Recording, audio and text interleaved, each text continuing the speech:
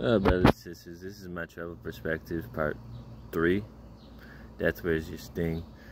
Uh, and the overall verse that we're going to look at that surrounds the message is Proverbs 14:12. There's a way that seems right to a man, but its end is the way of death.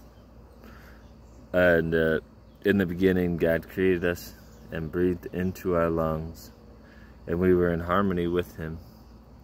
And uh, He put many fruit, tree of life in the garden, and then the tree of knowledge of good of evil, which he told us not to eat of. And then uh,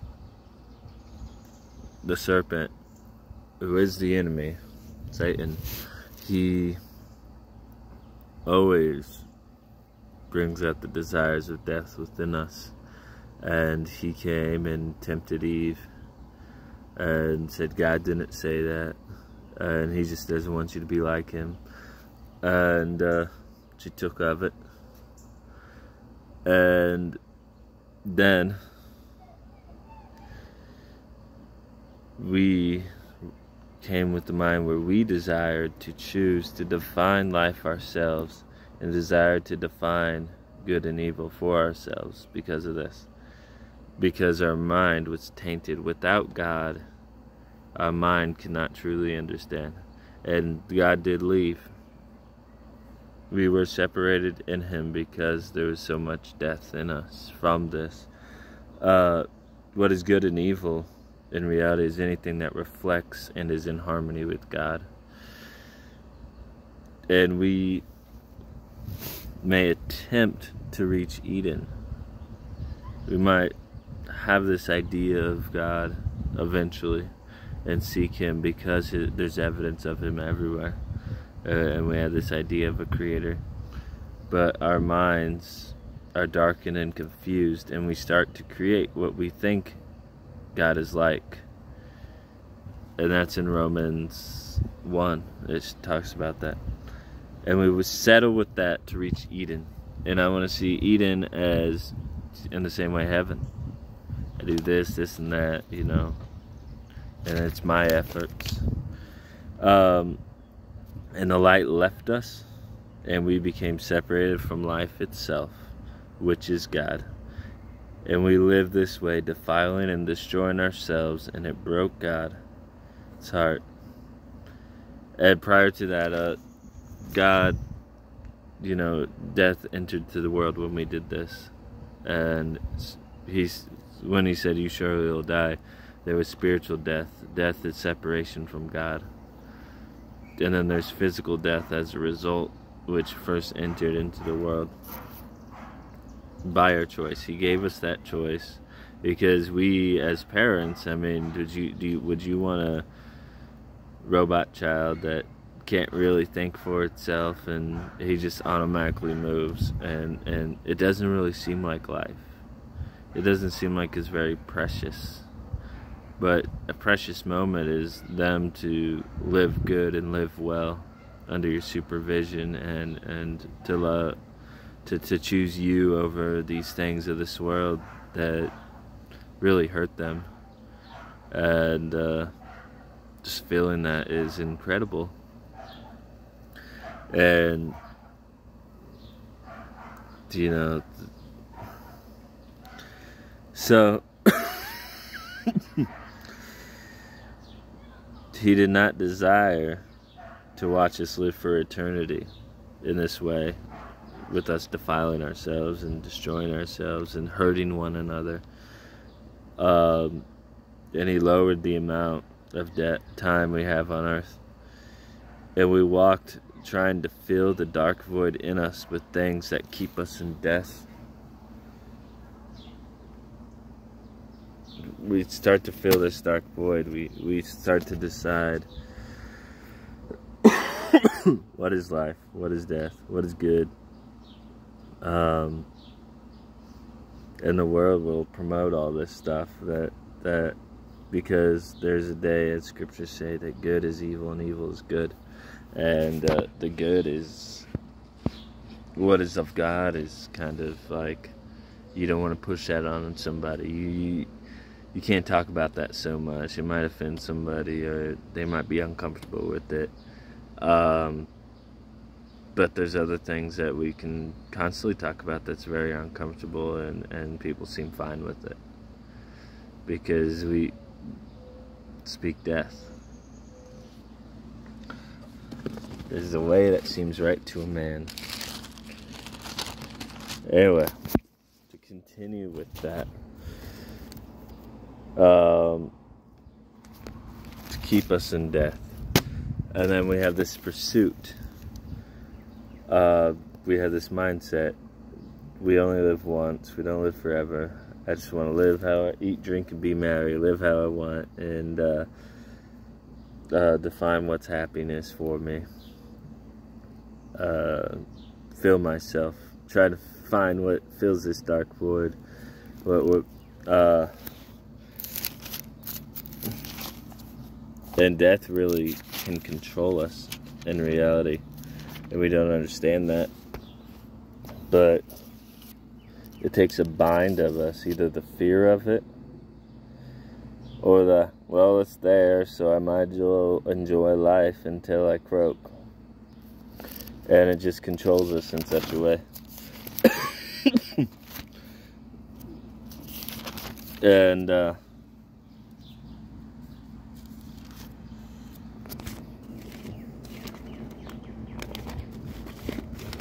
Hebrews.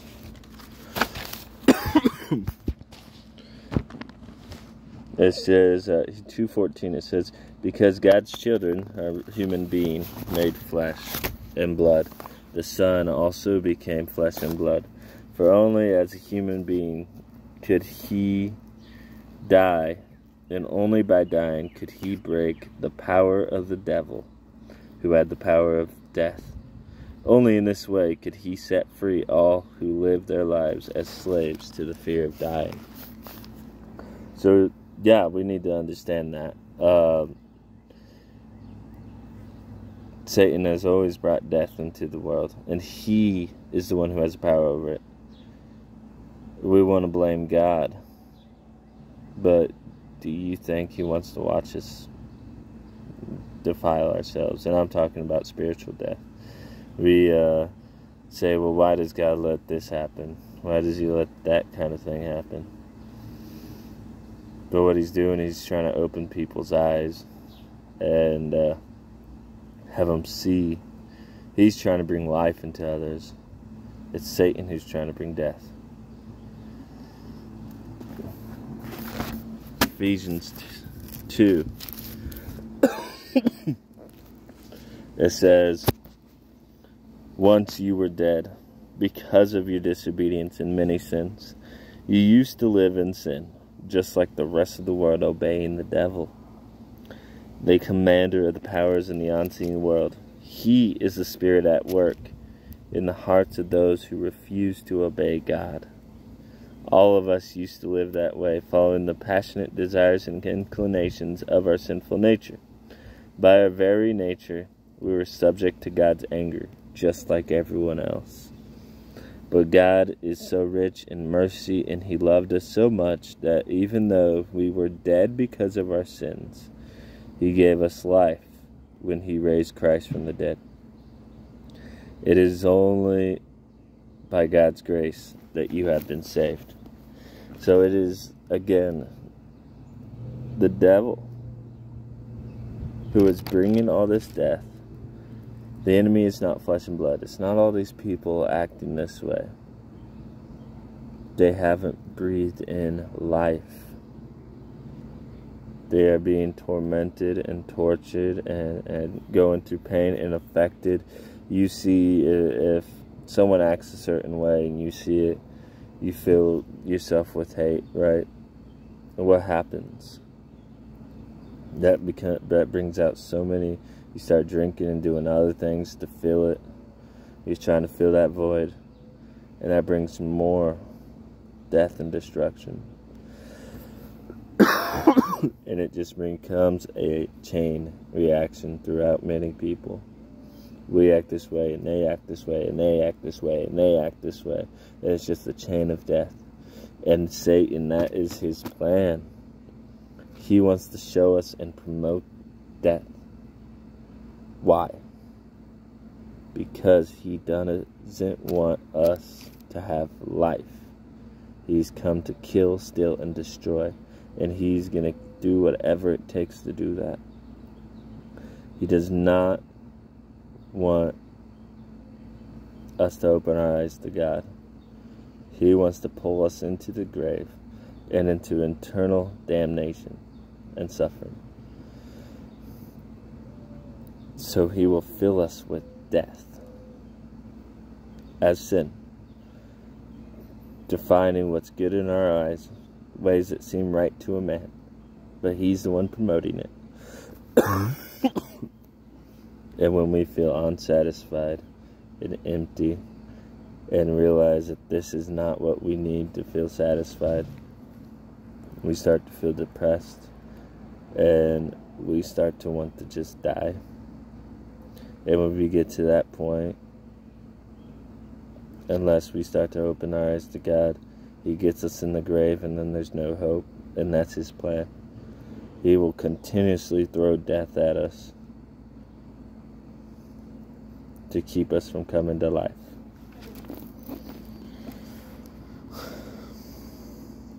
But then we all live that way. It's his influence. The enemy's not flesh and blood. I said that again. That God, even though we were dead in sins, he is pursuing us and bringing his life to bring us to life. But then we have death controlling us. Um, but we overcome by the power of the blood of Christ and the word of our testimony. And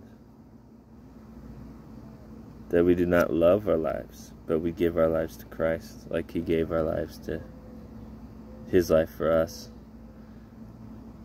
So that death no longer controls us and we do not shrink back to save our life, but we continuously march forward like soldiers and bring life into others.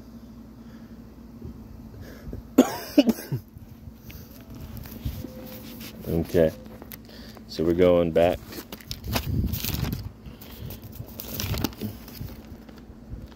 So then we're talking about the second thing.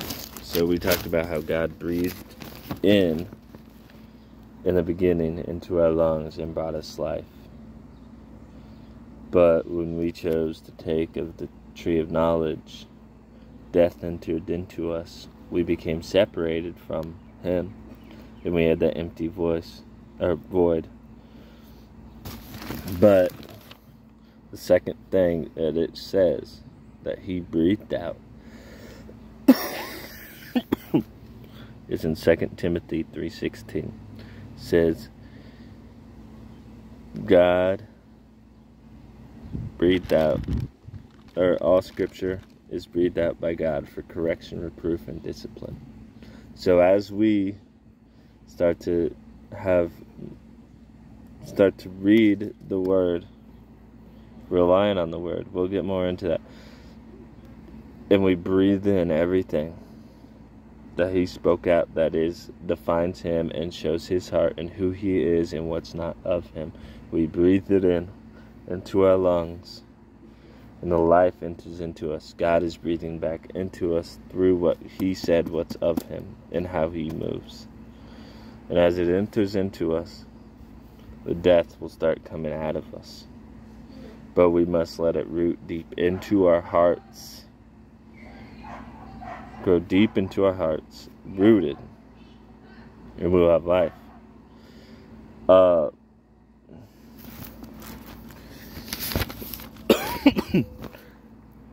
but it's once it becomes a sweet fragrance. When Christ, you know, when Christ truly moves into your heart. Second Corinthians 2, it says that thank God he has made us his captives and continues to lead us along in Christ's triumphal procession. Now he uses us to spread the knowledge of Christ everywhere like a sweet perfume. Our lives are a Christ like fragrance rising up to God. But this fragrance is perceived differently by those who are being saved and by those who are perishing. To those who are perishing, we are a dreadful smell of death and doom. But to those who are being saved, we are a life giving perfume.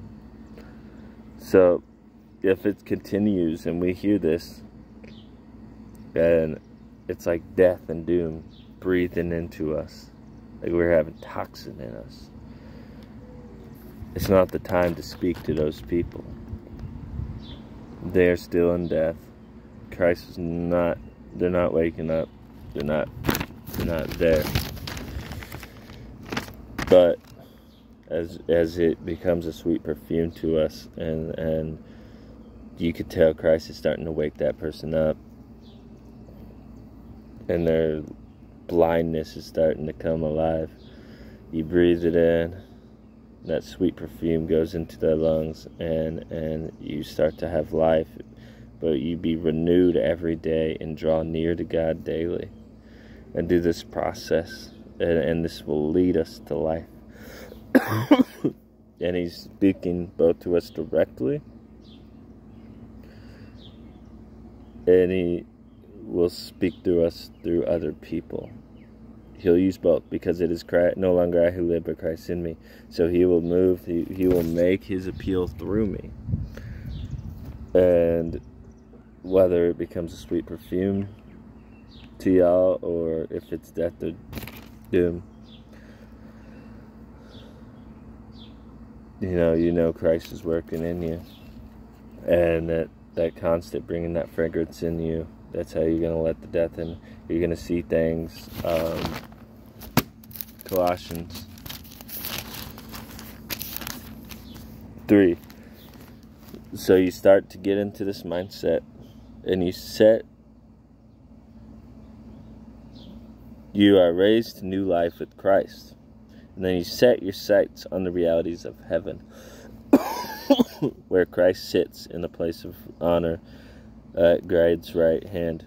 Think about the things of heaven, not the things of earth. For you died to this life, and your real life is hidden with Christ and God. So we have died to this life now. We have died on the cross with Christ. It's a picture of baptism. We have died to ourselves. We are drowning out our old self.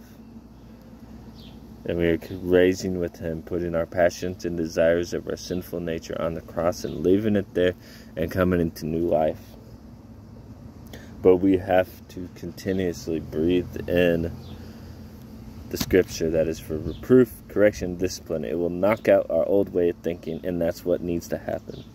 You have to destroy your human perspective because He is renewing our mind daily, and we have to let God change the way we think.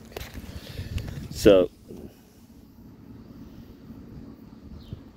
by doing that, we think about the things of heaven, not the things of earth.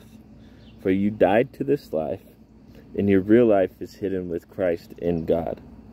And when Christ, who is your life, so he becomes life, like we've been talking about.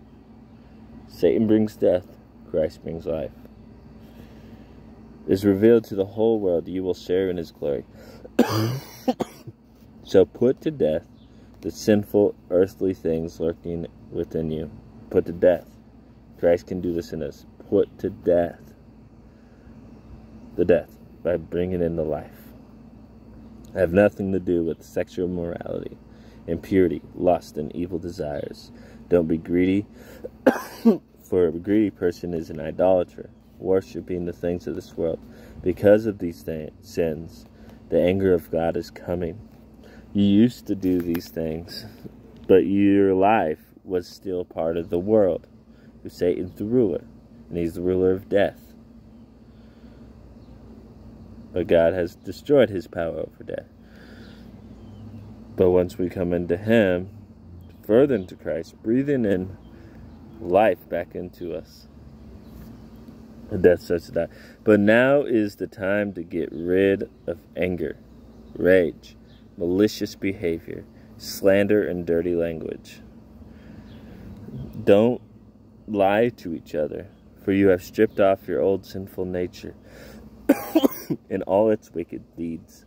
Put on your new nature and be renewed as you learn to know your Creator and become like Him. That's our goal. Back in harmony, becoming like Him.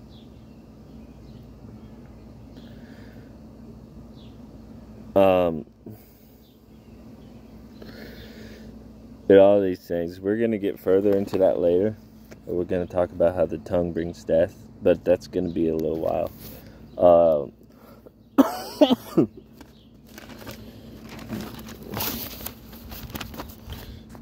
so, now we're talking about that. But as we read the scripture and, and let it breathe into us to bring us life, we have to understand this one thing in the beginning tree of life, tree of knowledge of good and evil. We can read and feed on scripture with the tree of knowledge of good and evil. Our and our human perspective, we're putting our mind into it and trying to understand. We can say, "Well, I read it four or five times." You know, it really doesn't you know, you can't tell me not. But the thing is, with our human mind using, uh, well, feeding on the tree of knowledge, while reading scripture, we're still going to be in death. This is empty pages. Well, you're relying on your human mind, you won't have understanding because, as it says in Corinthians, 1 Corinthians 2. It says we can evaluate all things because we have the mind of Christ. Those who have the mind of Christ can understand it. But if you don't have the mind of Christ, if you're not renewed and relying on the Spirit, you won't understand any of this.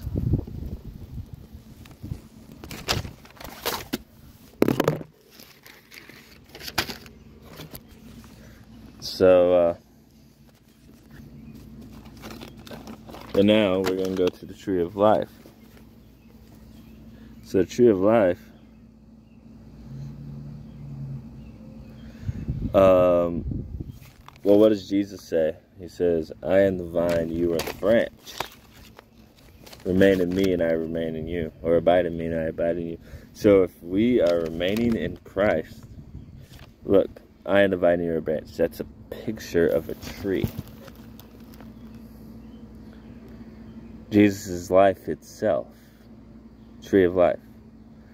So if we are remaining with the tree of life, Christ, and we are feeding on Scripture through relying and remaining in Him, He will show us understanding.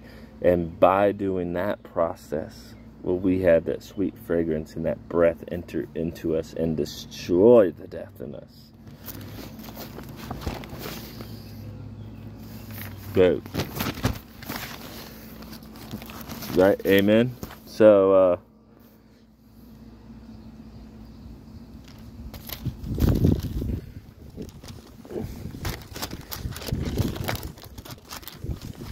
Yeah, I want to connect to this a little bit, but I'm not going to go too deep into it. But uh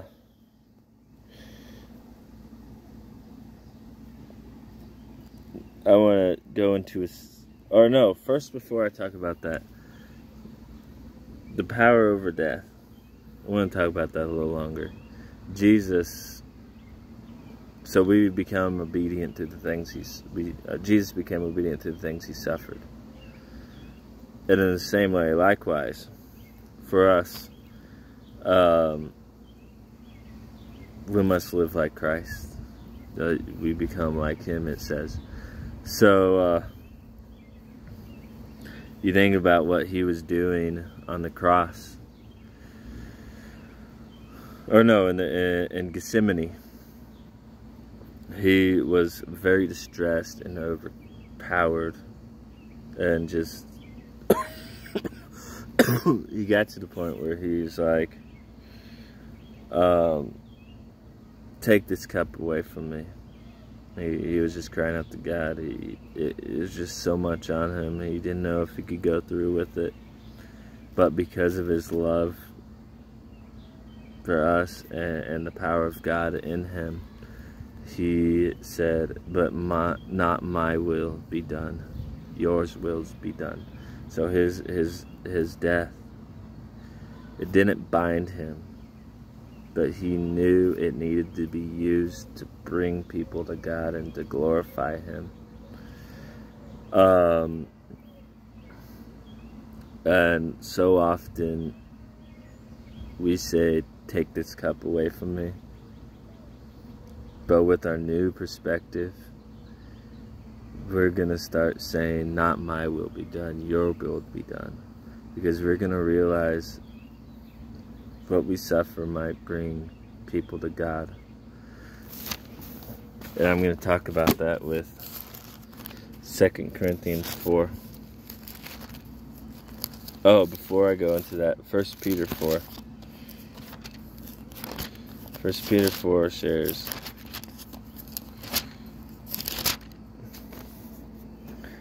So then, since Christ suffered physical pain, you must arm yourselves with the same attitude he had, and be ready to suffer too. For if you have suffered physically for Christ, you have finished with sin.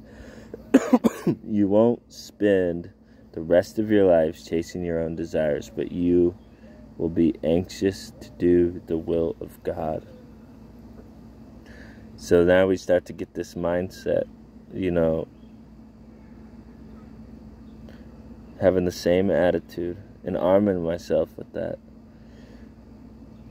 That I may go through these things and I could either let death destroy me and pull me down through it and I curl into a ball, or I can arm myself with am I going to look further?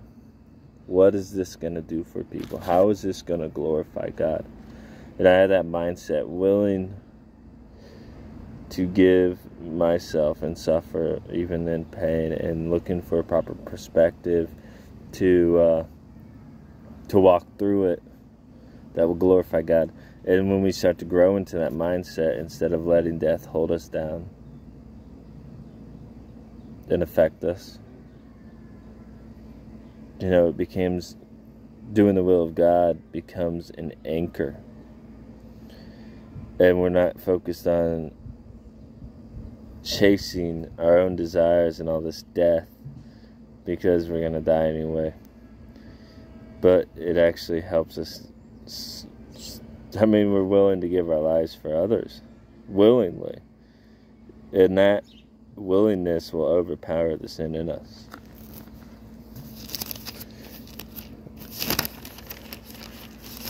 So Second Peter or Second Corinthians four. So we're in this process, right? so now we have this light shining in our hearts, but we ourselves are like fragile clay jars containing this great treasure. This makes it clear that our great power is from God and not ourselves. That we work, God works best in our weaknesses. When I am weak, He is strong. If we have the mindset, I mean, you can have simple things that you can handle in your weakness, but then you can go into supernatural areas and really move through it um, by relying on the power of God. And actually, something that bind me that I realized that I was doing yesterday, I was trying to, I had this cough. It was worse then, but it been, and I was trying to ask other people to pray. And um, to, to help strengthen me to get through this. And then, not even 10 minutes later, God was like, No. I said, Never mind to them. You call upon me. You rely on the power in you and trust me to get through you in your weakness to get through it and that's what he wants us to do he wants us to learn to cling on to Him, call upon Him, not other people. The more we practice this, the more we will draw nearer to Him and trust Him more because we are learning to use the power He has given us to call upon His name directly to cast out these things that are overpowering us. And when we can do that, we bring glory. Relying on other people constantly and just, you know, praying in such a way, but not activating this power and these gifts in, within us, it, it's not going to bring out the overwhelming power of God in us. so I'm going to continue. So, back in Corinthians, we are pressed on every side by troubles, but we are not crushed. We are perplexed, but not driven to despair. We are hunted down, but never abandoned by God. We get knocked down, but we are not destroyed. Through suffering, our bodies continue to share in the death of Jesus, so that the life of Jesus may also be seen in our bodies. Yes, we live under constant danger of death because we serve Jesus, so that the life of Jesus will be evident in our dying bodies. So we live in the face of death, but this has resulted in eternal life for you. Look at that promise. It says we're going to face these things and face troubles, but if we cling on to Christ and rely on Him, Paul talks about this in 2 Corinthians 1. He says that he was in the province of Asia and he was expected to die, but he relied to learn to rely on God and not himself.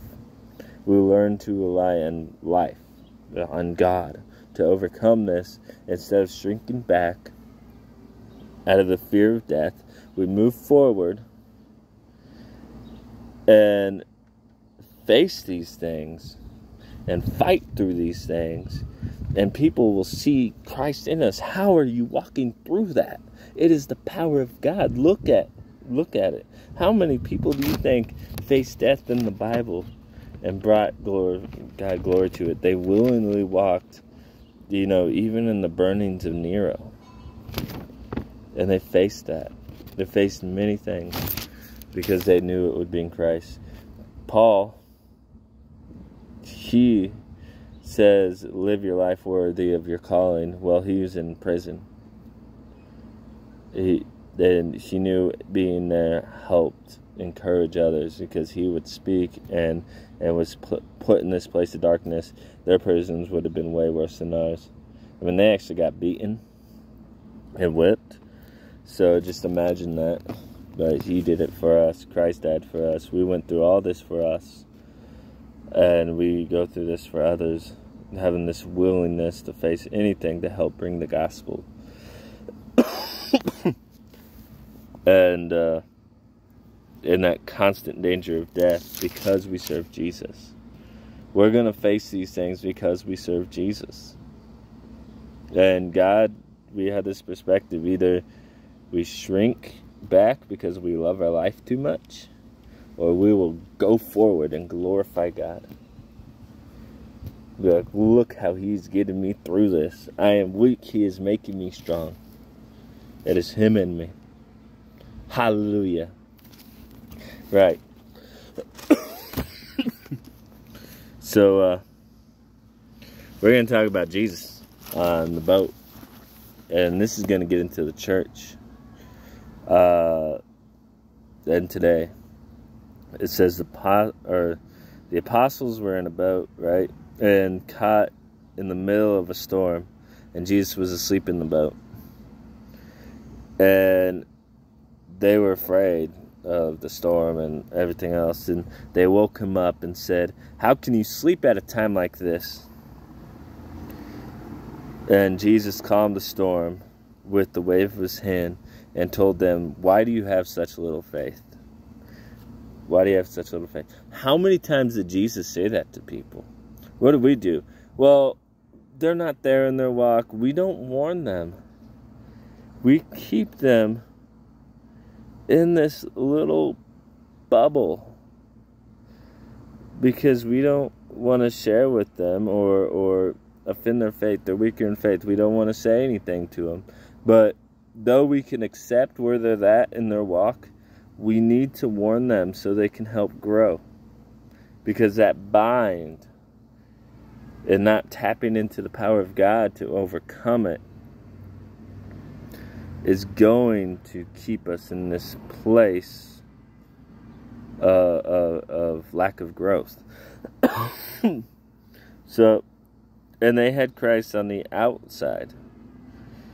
And now we have Christ living inside of us. So, what it really is our excuse? I mean, they were afraid of the storm, and Jesus was in the boat, but that was outside of them. They didn't have that like full like Jesus in you faith, power of God in them yet. They had some authority. But he lives in us. So what is our excuse? We need to tap into the power. We Timothy says they cut. they they have a form of godliness or the, they um, claim to be religious but they refuse the power that makes them godly. Christ has this in us and for us to overcome and power these things that will bring glory to Him. Anyways, and we're going to get further than that. They had Christ. Oh, yeah, yeah, yeah. In Timothy, it says, We have not been given a spirit of fear not been given a spirit of fear. So we need to grow out of that because it's not a spirit in us. It says, we, we talked about that. The flesh and the spirit, they're a constant war with one another. Galatians 5, right? Constant battle. So, if you're relying on the flesh, you're going to be fearful. But, if you get into the spirit and rely on Him, you will not have a spirit of fear, but of power, love, and self control. When you are fearful and in death and anxious about what might happen, it affects everything around you. It affects your judgment, your thoughts, your conscience. And that affects how you treat others because you're bound up. You're not focused on Christ and trusting in Him. Anyways, so back to the storm.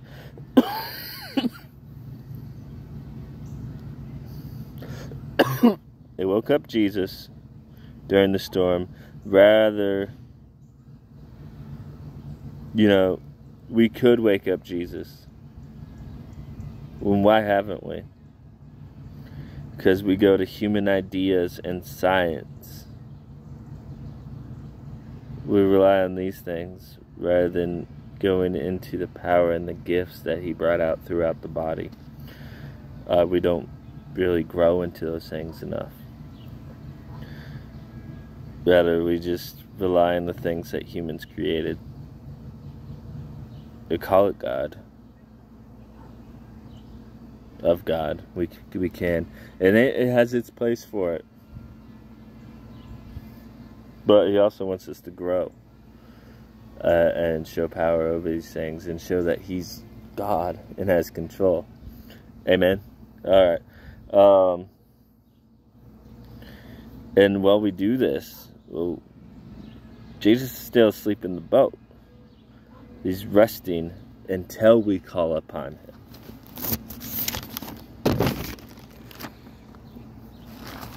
And here's the thing. Revelation, it shares that uh, you can be a church and be dead, even if you seem alive. And we, and I'm not, and that means asleep, and we need to be woken up. Someone needs, we need to wake up all those powers and calling upon the Lord and trusting in Him rather than just go into these ways of the world. And Christ, if, if we grow into that, we can instantly take the keys of the kingdom he's given us and call upon him to calm this storm. but if we're not relying on him, and we're reading the word with with the tree of knowledge. I mean, he's going to stay asleep. He's waiting for us to want to rely on him rather than the tree of knowledge, tree of life, or true knowledge. Because we are the body of Christ, he has chosen to move through us. Not relying on the church that there's a motivational speaker or band with a band, but rather because the world does that. That's pretty dead. One that's moving together like a living organism. We have our body, our arms, our legs, our face, our nose, our ears. I mean, we're all moving together. Forward, without fear, in harmony. And then that power in us as we work together and be his body because we are the body of Christ, we can tell that storm to stop. And he will hear and answer.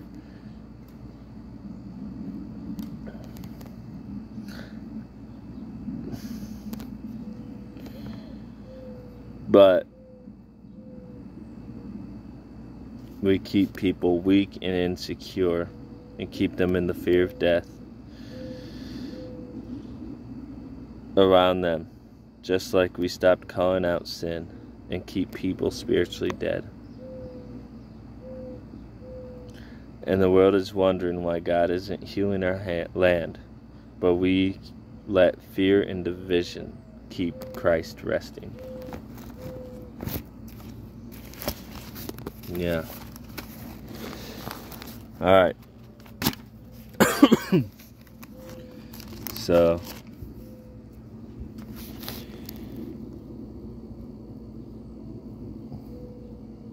So now Proverbs 18:20.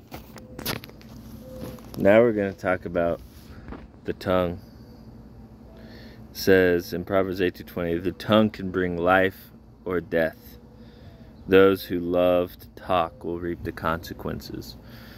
So now it's how we speak unto others. If we keep speaking death and sin and allowance of it and not calling it out, we're keeping people in death. If we speak life in Christ and His ways onto people and plant that seed, we're planting life. Uh, in James, it says that the tongue is from the fires of hell itself. It, you know, it's it's the smallest thing in the body, but it can set forests on fire The fires of hell itself. and we can speak life, and the consequence will bring people to glorify God and bring them into life. And the more we speak life, the more death loses its power over this world. Because the more we speak death around people and, and, talk about them and judge them and treat them bad, uh, they're gonna, you know, feel unworthy of themselves and get to that point where they just want to fill themselves with death. And you know, there is a consequence. We will be consequence. How many people are we leading to death? Either both by what we preach, both by how we treat them by the allowance of the things that we know keeps us separated from God. and life. How we speaking life into others? And how is that reacting onto, how is that making a chain reaction? I want to talk about something. Uh, so, I had a brother who took his life and uh, I wasn't in a place of Christ at that time. I had religion, but I didn't have Jesus. And uh, me and my wife constantly spoke death unto one another. And you know, onto him, and we didn't have inner understandings of where he's come from and his actions, even if we knew he had the idea to do this. And we weren't filled. But I know that if we spoke life and our mindset focused on life, if our mind was focused on life and speaking it, speaking of Christ, the good things, what things lead to death, and, and just calling upon that, it would have made a huge impact into his life. But instead, we just see the death without understanding of who's causing the death, and then we're not speaking upon the death.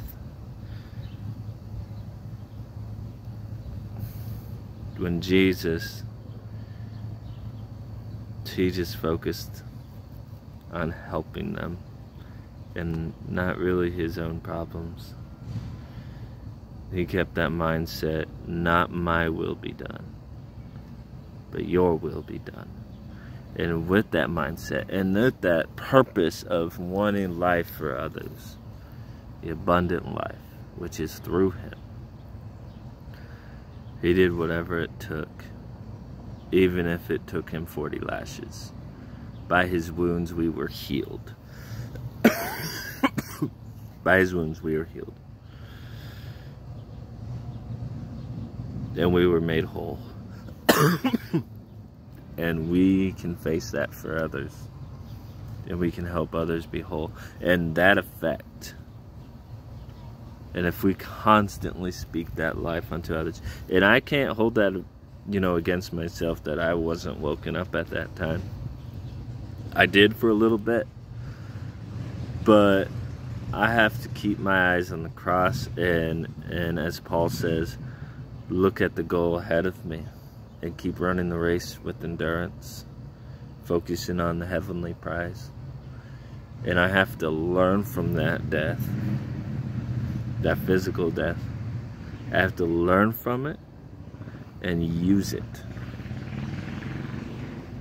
as life to help others, to understand the importance of speaking life unto others and that I don't sweat that at all. We need to speak, stop speaking death unto others, and people will be healed. We gotta stop speaking hate. We gotta stop the language. We gotta stop all of it. And we just have to speak life and hope. And there will be freedom. And we don't have to, if we continue to hit this path, it will trickle across. We no longer have to like be so dreaded by all the death and, and, and, all the things that are tearing us apart that people are doing because we are doing whatever we it takes to spread Christ and the love and the transformation of hearts. And if we focus on that transformation of hearts, and continue it. And that's focusing, and we keep focusing on that life, that life, life, life, that life, that life. And it's just all we're thinking about speaking life unto others.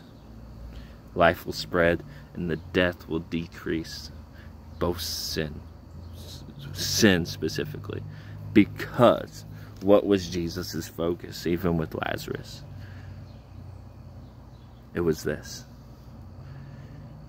people were worried about the physical death. I'm going to talk about Peter first. He said, Jesus was talking about his death, that it must happen. And and Jesus said, and, and Peter rebuked him. And Jesus said, You are thinking from a human point of view, step aside from me, Satan. And then we go to the second thing, where Jesus knew he was sick, Lazarus. Four days prior, and then he waited four days and he said that Lazarus was asleep without anybody saying anything. And he went there and he knew what he had to do. It was part of God's glory and it was meant to happen that way with the right mindset. And everybody was like upset with him for not showing up. If he showed up, my brother would be alive, right? And Jesus' only focus was this I am the resurrection and the life. If anyone is in me, they live even if they die. That's the focus point on this message. Even if they die, they will live. We point to life, Christ Himself, and we become in Him, and we will live. Life is about being in harmony with our Creator. Life is having Him inside of us and living through Him inside of us. Life is about Jesus Christ. He is the way, the truth, and the life. Amen. Okay, so if we continue to keep that mindset, and realize Jesus' focus is to bring people onto Him. True life. Whether they live or die. We don't have to let the physical death that's not an issue. And we're going to talk about that now. So, 1 Corinthians 15. It's part of the process. Such a beautiful thing. So it talks about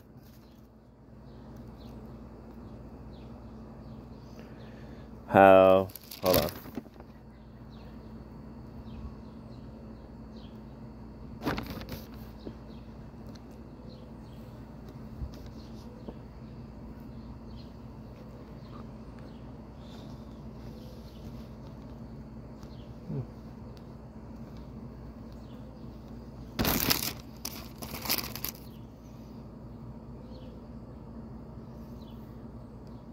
Okay, sorry. Uh, so verse 35 it says, But someone may ask, How will the dead be raised? What kind of bodies will we have? What a foolish question, it says. When you put a seed into the ground, it doesn't grow into a plant unless it dies first. first, we have our physical body has to die first. And then it's a seed that grows. The seed that grows.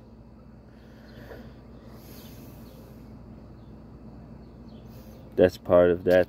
To get our glorified body, we have to be a, become like a seed and be put in the ground.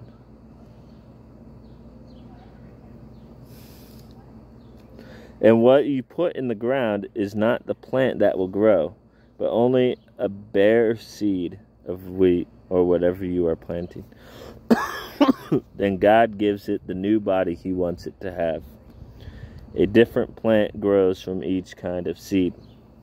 Similarly, there are different kinds of flesh. One kind for humans, another kind, another for animals, another for birds, and another for fish. There are also bodies in the heavens and bodies on earth. The glory of the heavenly bodies is different from the glory of the earthly bodies. The sun has one kind of glory, well, the moon and stars each have another kind.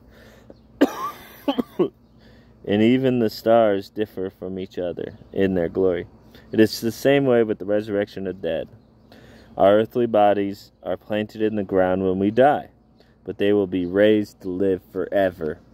We have to die to live forever, our physical bodies. But in Christ, we live forever. But if we don't have Christ, if we don't speak life, if we just speak death, we will stay in death in eternal separation. We have that choice, life or death. Our bodies are buried in brokenness, but they will be raised in glory. They are buried in weakness, but they will be raised in strength. They are buried as natural human bodies, but they will be raised as spiritual bodies. For just as there are natural bodies, there are spiritual bodies.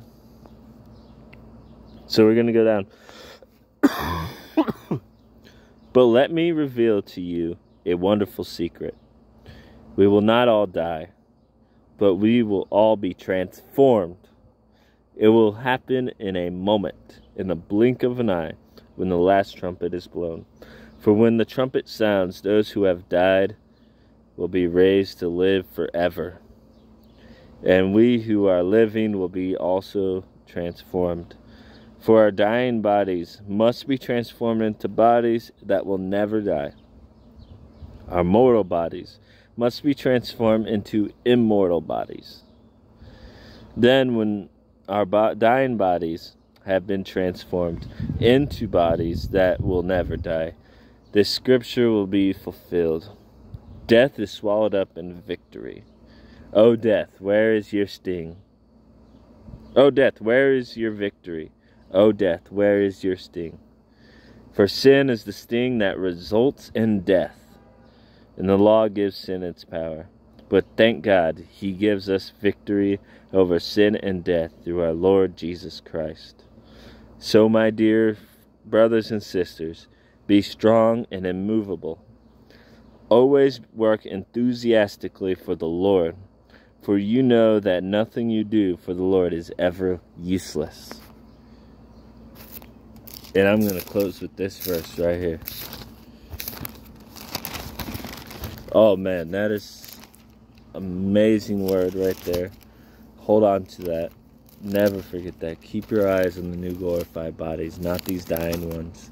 Don't focus on the flesh. We all die. Don't focus on the flesh. Be ready and anticipating to be that plant, that seed put in the ground so we can have that glorified body. Focus on that. And focus on that for others. But we have to focus on getting the death out of them so they can have life forever. Philippians. For I fully, Philippians 1 20. For I fully expect and hope that I will never be ashamed, but that I will continue to be bold for Christ as I have been in the past and I trust that my life will bring honor to Christ, whether I live or die. For to me, living means living for Christ, and dying is even better. For if I live, I can do more fruitful work for Christ. So I really don't know which is better. I am torn between two desires. I long to go and be with Christ, which would be far better for me. But for your sakes, it is better that I continue to live. Knowing this, I am convinced that I will remain alive so I can continue to help all of you grow and experience the joy of your faith. And when I come to you again, you will have even more reason to take pride in Christ Jesus because what he's doing through me. Look at that. That is incredible. Actually, when my brother passed, this is the verse that spoke to me because I was seeing nothing but death surrounding him at the end in his casket. And and uh, this really spoke to me. Is like what am I living for? What's what am I going to be remembered by? You know everything I did just brought death and decay to myself and to others and I was just looking about that and then I just filled myself with with life. I I just I breathed it in. I got that his lung, his breath into my lungs. but now we can have the same mindset. This is for to me, but as Paul's saying, but we can all have this mind and this perspective, and we can pursue it. Where we have this hope for ourselves and for others, and we can share this with others that we live for Christ and we die for Christ. And that it's torn which one's better. I mean, we want to be with Christ and we can have that focus. I want to be with Christ, but we have that focus. I want you to be with Christ.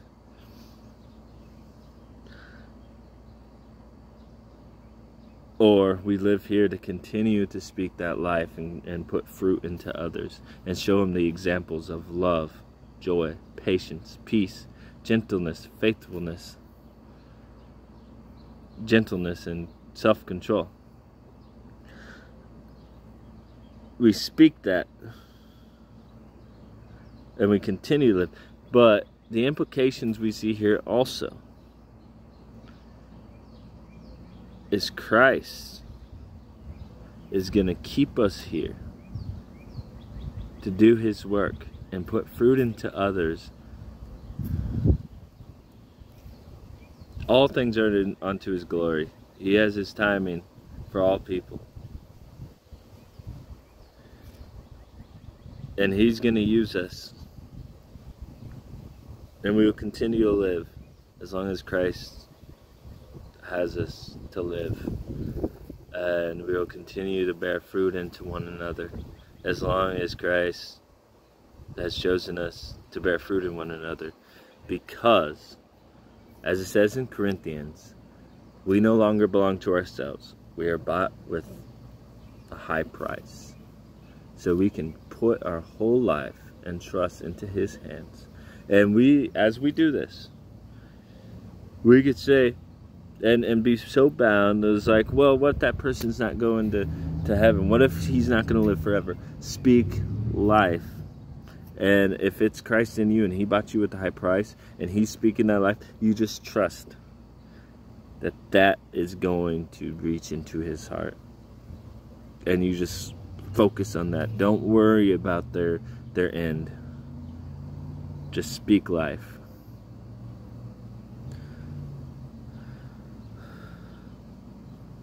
Because if you worry about that end and where someone might be, it's going to destroy you. You just focus and use it and just keep moving and sharing and being used. And trust God's moving in you. He knows what He's doing. If He's going to have that person speak and they're receiving it, and if it's not a fragrance of death and doom, I mean, just rejoice. Just rejoice all we need to do. Okay. So he's going to keep us. Since he owns us, he's going to keep us on this earth as long as he needs to. In that last dying breath, he's going to use it as an impact to glorify himself if we keep that mindset. And we are willing to be used instead of complain. We will not we we overcome by the blood of the Lamb and the power of our testimony, and we did not love our lives so much that we shrink back from death. But because we know we're already dead to this life, that we are in Christ, that uh, we trust He's going to use that Uh, and we're going to cling to Him to use that and glorify Him in our dying bodies. We don't have to let death control us and grip us. Where is its sting? We're going to have glorified bodies once we become that seed in the ground. But until then, to live is Christ and then once we reach death, that's gained because we can be with Him.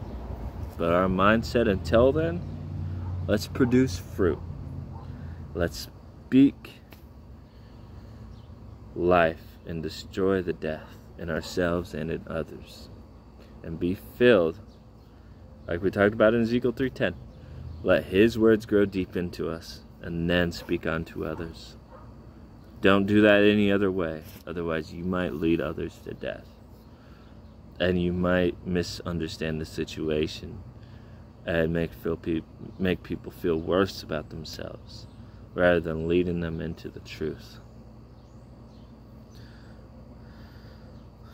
There's hope, but we speak life to reach it. And life is Christ. Let us pray. Jesus, we just thank you for all that you have done, just the hearts you have given those pursuing you. We just ask that we constantly stand grounded in your word and let your words grow deep, that we do not build our life on sand that wrecks, but we look for the solid foundation to be built upon. and we just pray that this message will just grow and touch others and give them a full understanding to overcome death and, and destruction, and that they would have a new perspective and they could just live life to the fullest, abundant life for you. For to live is you, and to die is to be with you. And both is just remarkable. And we just uh, thank you for all your blessings and the opportunity to be used by you. We just ask if anything of this is not of you, forgive me. But what is, just let it overpower one's heart. In Jesus' name we pray, amen.